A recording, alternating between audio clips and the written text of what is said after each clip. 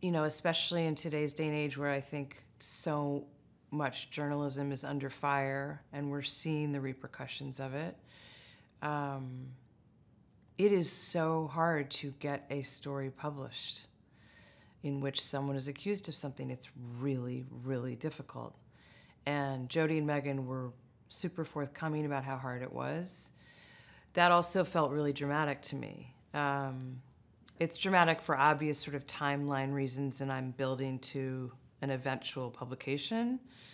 I think it's also dramatic emotionally because I don't know that people are computing that when you're in uh, an investigative journalist and you have a ton of witness accounts and a lot of stories and you're carrying all of them, you may just have to carry them. They may not ever be able to leave your person. And in this case, I think that would have been really harrowing. And I think Jodi and Megan were legitimately afraid of that. Like, what do you do if you know all these stories and you can't, you don't have enough to put it on the public record? They're just excellent humans, really, truly. I think they're at the top of their craft. Um, and then just kind of, mm, I don't know, kismetly, cosmically, something. They're also such good friends in real life. Um, it it just uh, it was kind of like getting a team at once, you know. And even though Jodi and Megan didn't know each other before they started this investigation, I feel like the friendship between Carey and Zoe um, just created such a wider berth and longer runway in which for them to play because they trusted each other so much. So they could, they just had a, they had a fluency with each other that um, I'd never had that before in a movie. It was really beautiful to be around.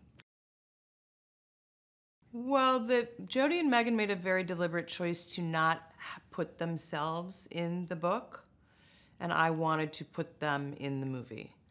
Um, so, in that they're not telling it, it's now someone else telling it. There was this sort of open column to fill that in, and I didn't think we'd ever seen that.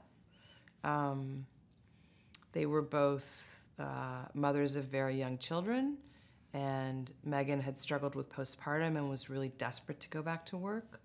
I wanted to show that as well, and also um, the absence of glamour. You know, you work really hard, you work late at night, you eat shitty takeout, you get in a cab or a subway, usually. You go back to your apartments in Brooklyn, you get up, you do it all over again.